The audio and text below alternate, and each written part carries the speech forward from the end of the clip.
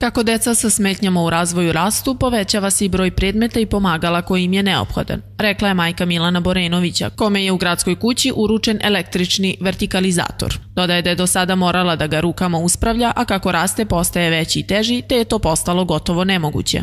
Ovaj stalak za nas znači puno jer moj Milan ne može da stoji, vertikalizacija mu je neophodna zbog osteoporoze, metabolizma, organa za varenje i mnogih drugih stvari.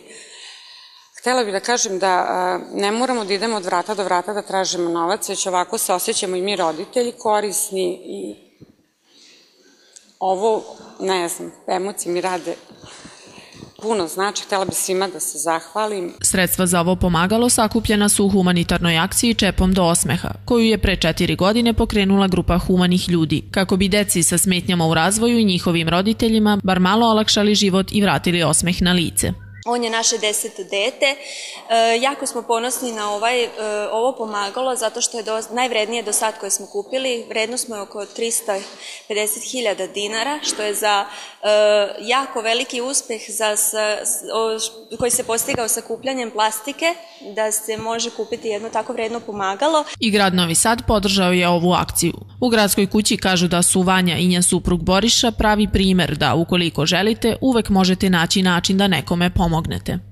Još je bitno da se istakne i trojaki aspekt uh, ove reciklaže. To je uh, pre svega pod jedan reciklaža, pod dva uh, zaštita životne sredine, a tome naravno težimo jer planiramo i plebiramo da budemo naravno što jesmo u razvijenom svetu i još jedan bitan aspekt to je uh, uh, sinergija i humanost s jedne strane ljudi koji to rade i s druge strane obolelih osoba i njihovih roditelja. Prema rečima inicijatora, akcija Čepom do osmeha pokrenuta je 2012. godine s ciljem da se Srbija očisti od otpada i danas se sprovodi na teritoriji čitave države. Kako kažu, do sada je prikupljeno oko 30 tona plastičnih čepova za reciklažu. Akcija će trajati sve dok se ljudi budu uključivali i učestvovali u sakupljanju čepova, zaključuju oni.